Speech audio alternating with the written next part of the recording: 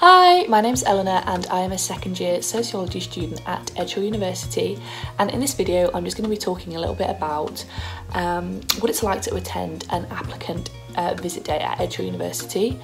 Um, so the first thing that I would say is when you get there um, obviously there's lots of things you can you can go and walk around the campus which is beautiful. You've got a subject taster session.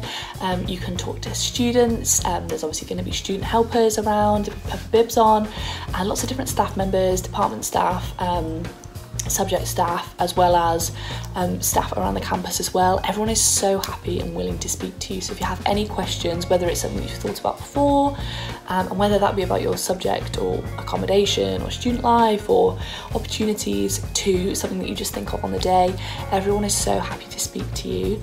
Um, for through my experience as well in sociology, we had a subject taster session.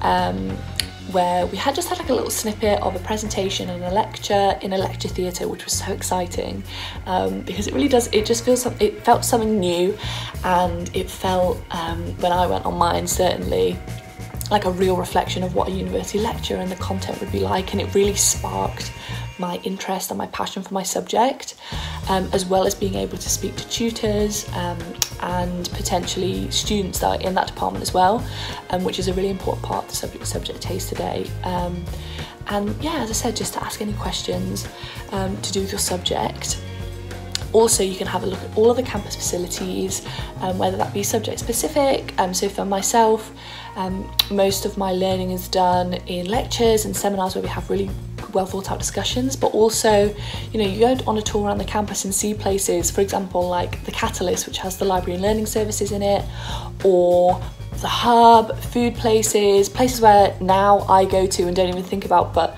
um, where I'd go and do my reading and I just thought they were beautiful spots on campus when I had my applicant visit day. So really you can immerse yourself in your subject, in student life, in speaking to existing students and staff members and people that are really in the know about your topic and your subject that you want to pick or if you have any queries and questions as well.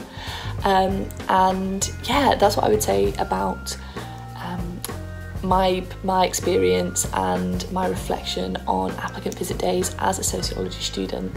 Um, yeah, and also another thing is that I find, or I found that booking on was so easy.